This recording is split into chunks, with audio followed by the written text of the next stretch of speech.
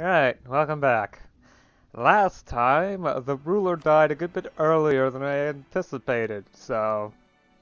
Yeah, we're gonna have to deal with about at least seven years of legitimacy lowering?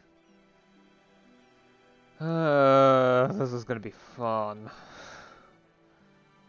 Also, I can't declare wars either because Regency Council.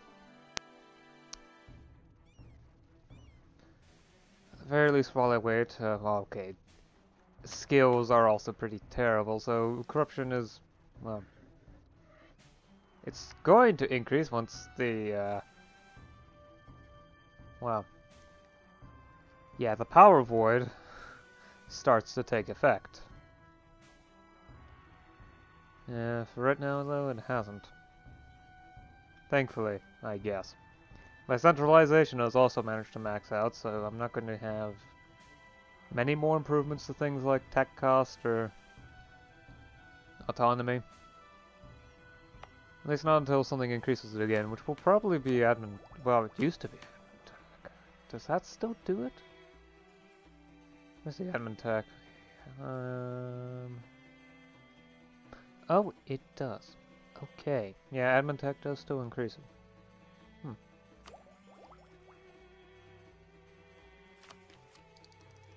Ah, uh, 11640 rolls around. I'll probably grab a few economic ideas and try to grab a couple techs. Depends on how many NAM points I pick up. Same with the other two techs down here. I'll grab those as well. Okay, possibly professional ideas. Well, professional army ideas, as many as I can manage to grab without losing out on the tech. So I'd like to still continue to gain that army tradition buff.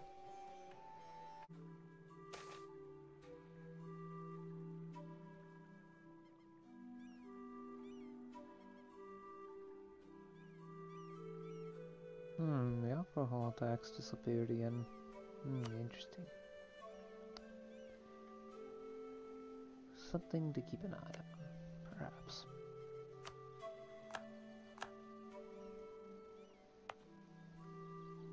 Yeah, with infrastructure improving, um, there might be the potential for something else in the future. But for right now, uh, this premise is far too busy building massive quantities of harborage.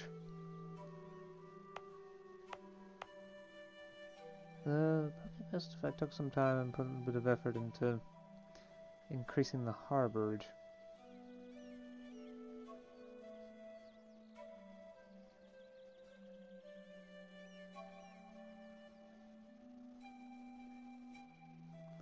Transport. Wait.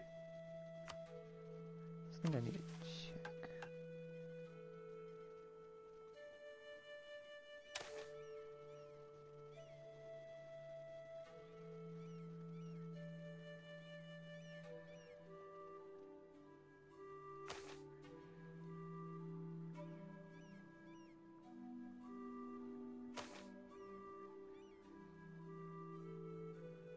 All my own premises, okay.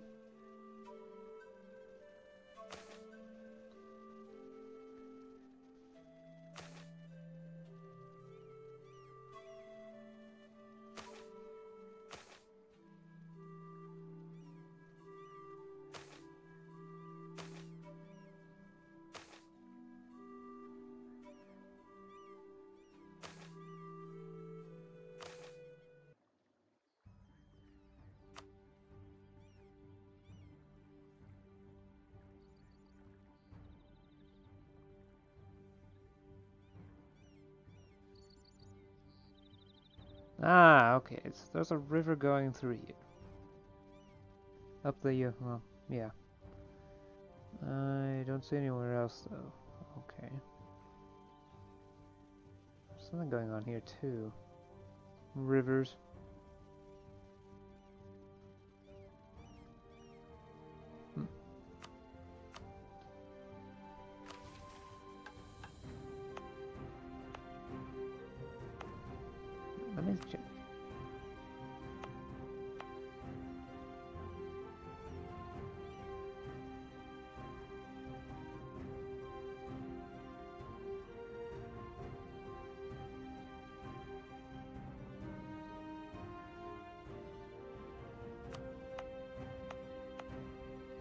These three provinces can handle river travel. That's why this province is a good bit quicker, probably.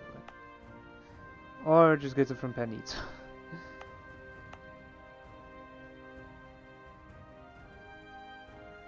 yeah, anyway. Doesn't this, this province should at least have... Okay, yeah, it's got a decent amount of residents. Well, well, Pathling is a peasant. The ape. Here it is.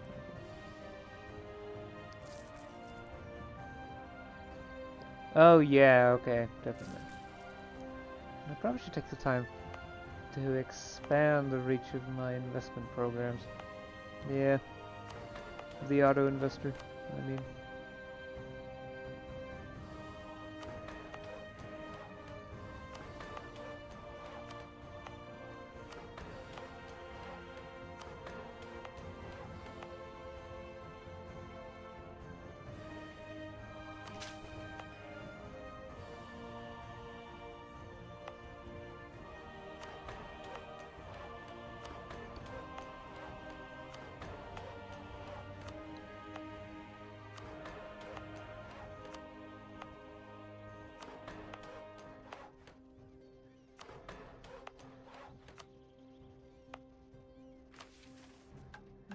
Add these and clear selection.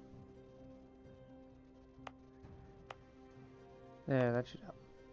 Now select the problems again and actually build some pathing infrastructure. Yeah, I can save the harbor for later. I want to build pathing infrastructure. Rank 7.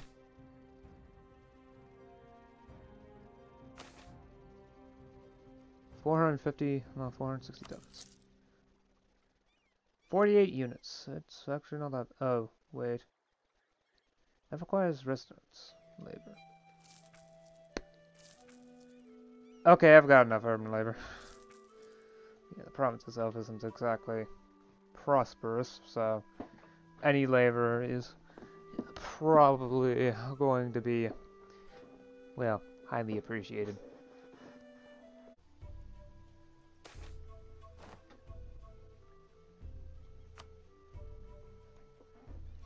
Uh, my independent rebels. Chile. Right, so when does this uh, expire again? 6th of January. Wait till the 7th. Right, now's the time to start. Oh, I can do reforms again. no, no, that's a bad idea. Societal instability is a bad idea to try to deal with.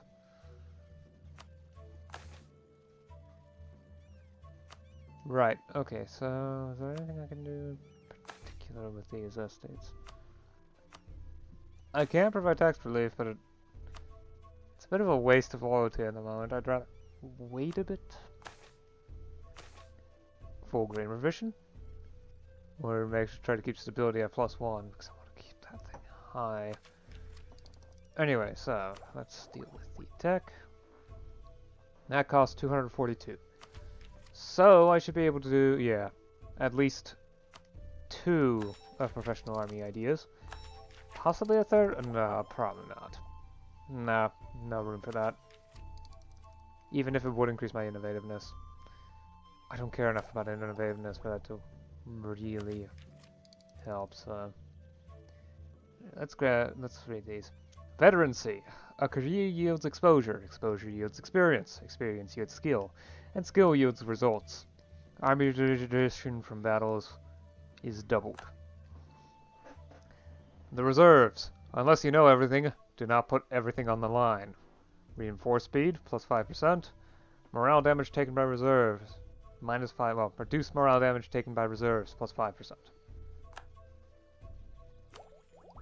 And tech. Swivel cannons. Swivel cannons allowed artillery to react more quickly on the battlefield, making them much more useful.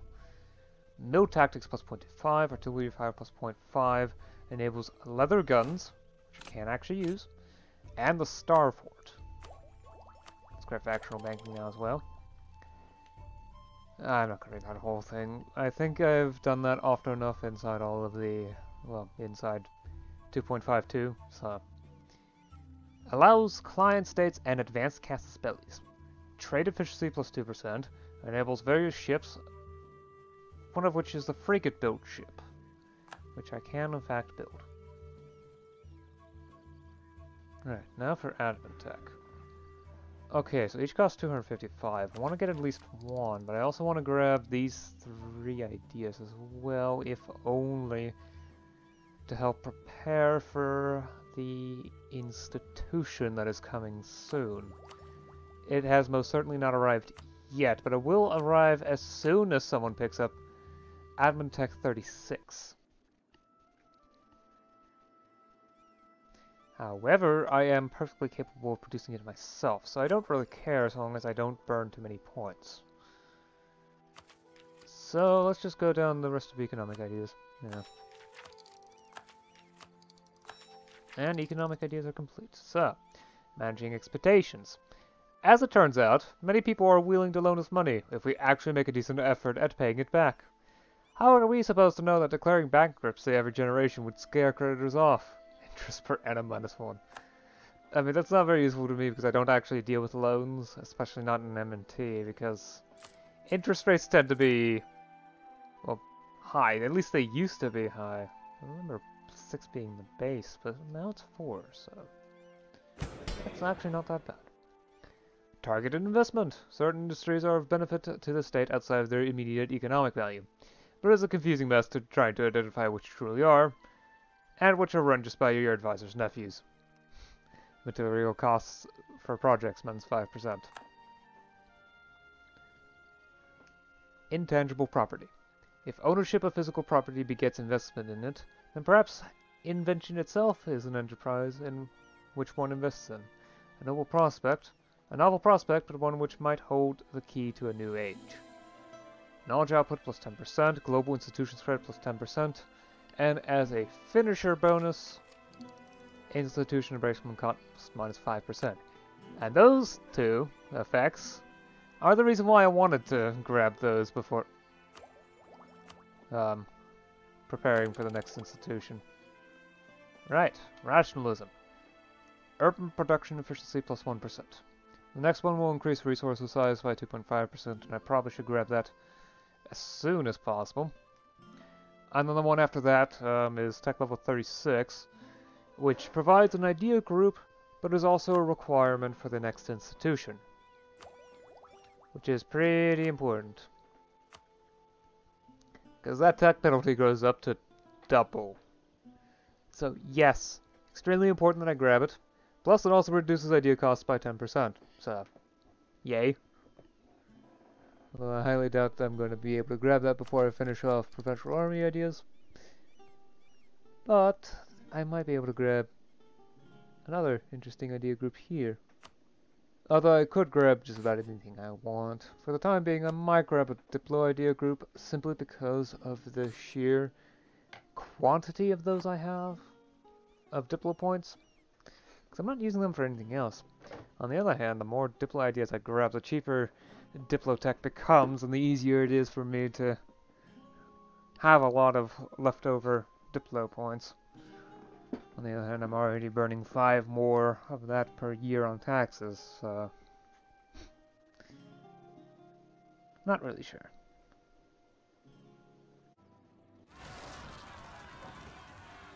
Ah, great. No. Okay, okay, there we go. Pretender Rebels. Perhaps they might actually be better than the heir. 154, that would be a... Hmm. Hmm, does it round up or down? Rounds down, probably. 2 for 2 would be 3 for 3. 154 would probably be 244, which would be about the same. At least That's not worse. At best would be 344, because I'm sure not. Where? Oh, it's over here. Yeah, that might take a bit to get back to. Yeah, that is the shortest road, though, so... Right, that. least Olone has the largest regional city model. Oh, I can't even select it. Well, I can still select these buttons, but I can't hover over that. That is interesting. Uh, certain interfaces have been adjusted to the point where it might be difficult to see things.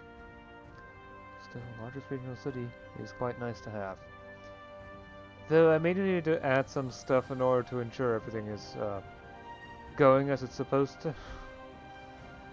Because, yeah. Fact is, there's... This stuff isn't properly set up. And yet everything else here is. So I may need to state it in order for it to work, but I don't feel like stating it until I can be sure that it's going to reduce in autonomy. And, well, we're actually pretty close to that.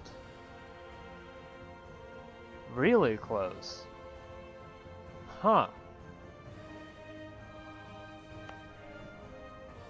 Perhaps we need some better harborage. But beyond that, it's all perfectly fine. Huh.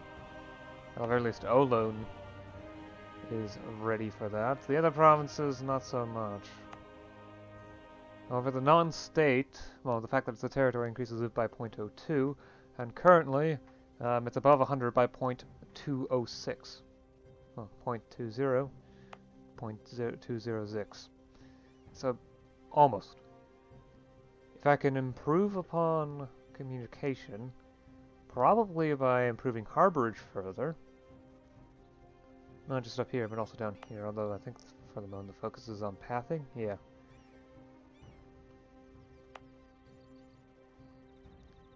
Down here it's on harborage, but, well, that might take a while. Up here I can work on harborage, so let's actually do that. Build up infrastructure, and then once it's ready, go ahead and integrate as a state. Some project, improve harborage, and do rank 3 Harborage has a lot of units associated to it, doesn't it? There's also the question of how much labor is available, which is 2.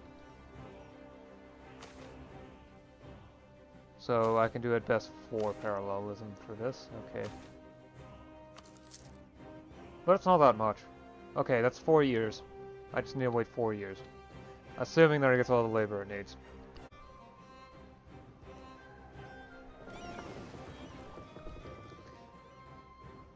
I think I should stop here now.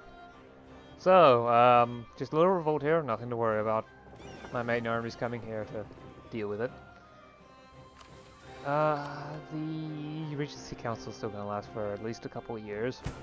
Joy. At the very least, the nobility are now happy, more or less. They're probably going to take away familial appointments some point soon, only to help with corruption.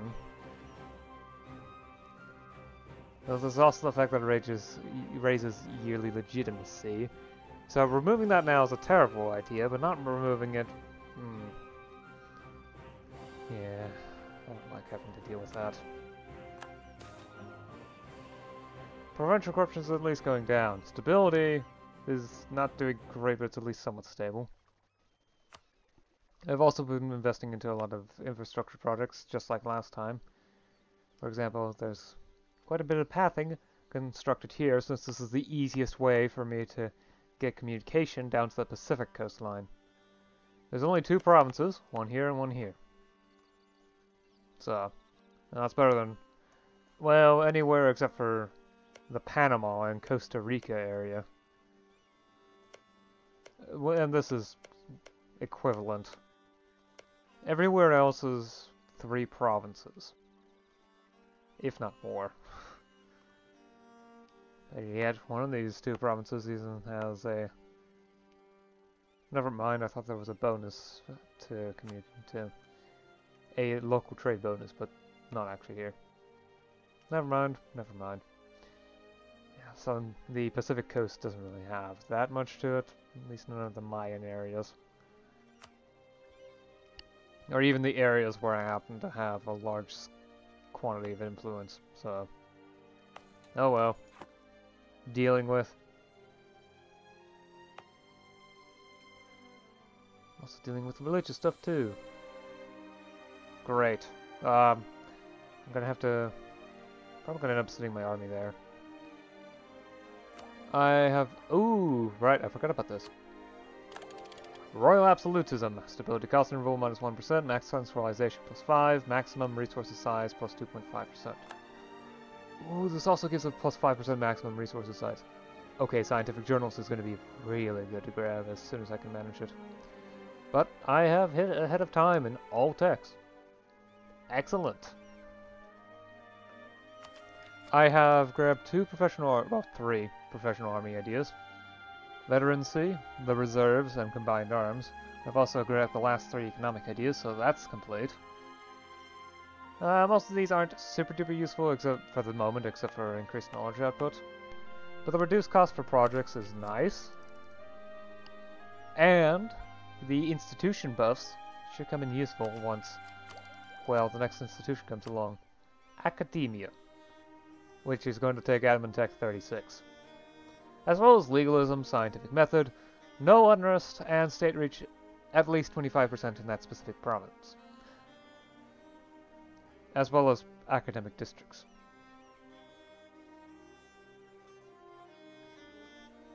But, well, I just need to point towards my capital and press the A button to move away from the infrastructure.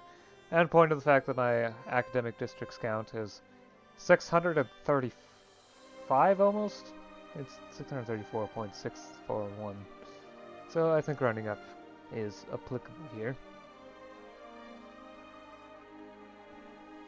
Yeah.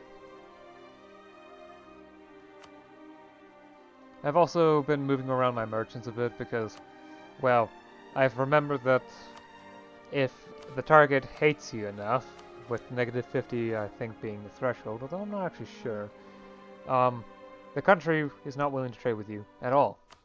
However, I'm always at negative 25, so... Because they're not that focused on the different religion aspect. Or, well, enemy of enemy, so... Because we both hate Aragon and slash war England. I don't I can't have England as a rival at the moment. They've gotten too weak again. it's so silly to say that. Bottom of the list, great power. I mean, Aragon is beginning to catch up from the looks of it don't like. Did they pick up a new vassal? Hmm. I'm not actually sure. It doesn't look like it, but they might have gotten a lot of success in expeditions. I don't know. I've also expanded my investment to hit every province that has at least a chance of getting below 100%, even in these bad conditions. So that's everything in the mainland except for this province right here because it doesn't have harbors, so the communication is poor. Somehow this province is better. Well, okay, never mind.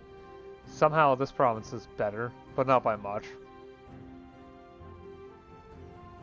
And the capital city of the um, Californian territories, at least that's what I'm considering it as, Olone, is almost there, which is why I've gone ahead and put some time into investing in the harbor infrastructure, and I'll probably end up doing a couple, a rank or two in capital infrastructure in order to help with communication there.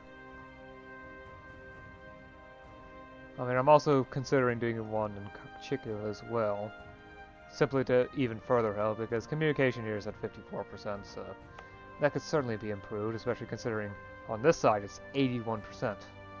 These mountains are no joke. Communicating across them is difficult. Uh, yeah, so it's basically just tech and ideas and a little bit of uh, concessions to the nobility. As well as trying my best to keep this country from falling apart too too much from the Regency Council having awful legitimacy. Uh, minus two is terrible. As well as trying to juggle the stability because the uh, recent reforms modifier for stability is still around, and it's going to stick around for another four years. I've also maxed out on centralization, at least up until I grab that admin tech. It's gonna take a bit for it to actually appear, but the max is now 75. So that should also help out with autonomy after a short while. It is only increasing it by 0.28 per year, but still.